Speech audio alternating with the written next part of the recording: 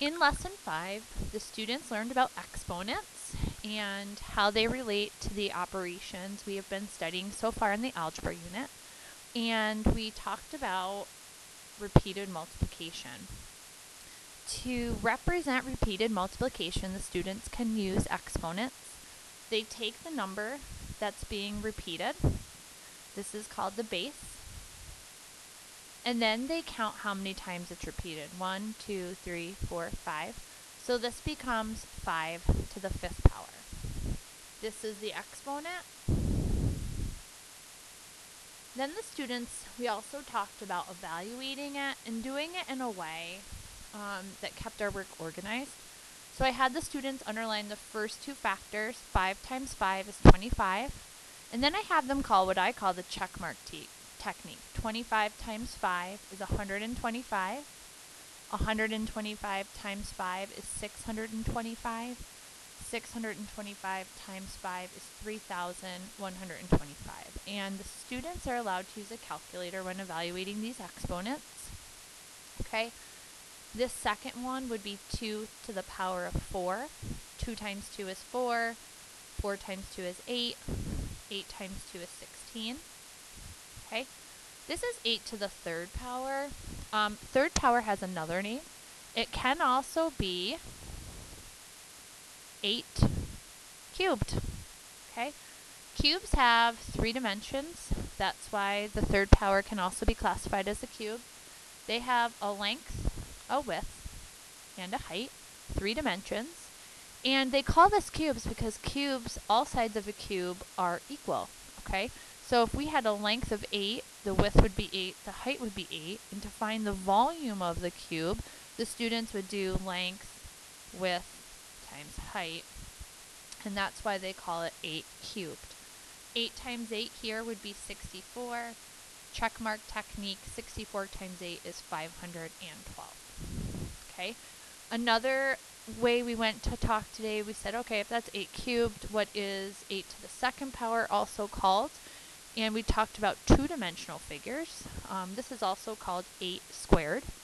Squares have two dimensions. They have a length and they have a width. And squares also have um, equal sides. So if we're going to find the area of this, we would multiply length times width, or 8 to the second power, or 8 squared. Okay, we talked about the cool powers of 10. Instead of doing the check mark with 10 to the 6th power, I had the students write it out so they saw the exponent as expanded notation but there is the trick. 1 times 1 times 1 times 1 times 1 times 1. It's all going to be 1. And this exponent is telling you how many zeros to include in your answer. So 10 to the 6th power would be a million. And we talked about other examples. We did 10 to the 8th power. You write down the 1, and then you write 8 zeros. So we talked a little bit about that. And then we also talked about um, having uh, exponent variable with an exponent. g to the third power is 3 g's, and that is repeated. Exponents indicate repeated multiplication. And I guess the there's three things I'm going to touch on before I end this video. This is a huge standard for New York State. Um, the difference between 3g and g to the third power or g cubed, both have three g's. However, this is 3 times g, and multiplication is the same as repeated addition.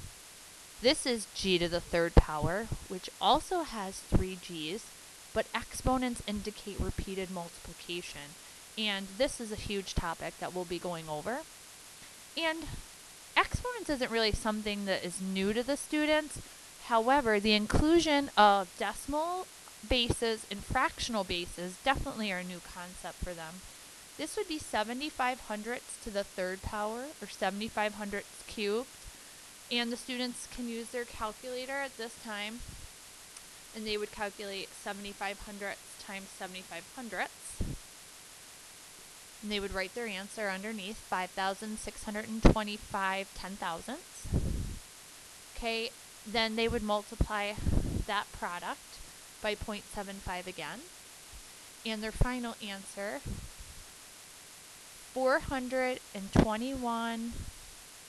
421,875 millionths. Okay, I shouldn't have put that comma in there.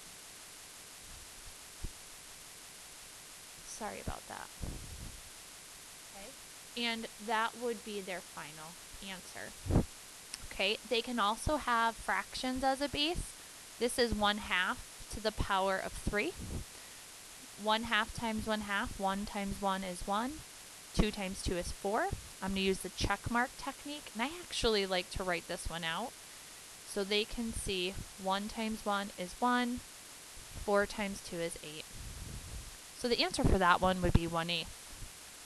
The most disappointing thing, or the thing I want students to be careful of, they should never multiply the base by the exponent. 6 to the third power is not equivalent to 6 times 3. You have three sixes in multiplication. 6 times 6 is 36. 36 times 6 is 216. And that's a brief summary of what we did today in Lesson 5.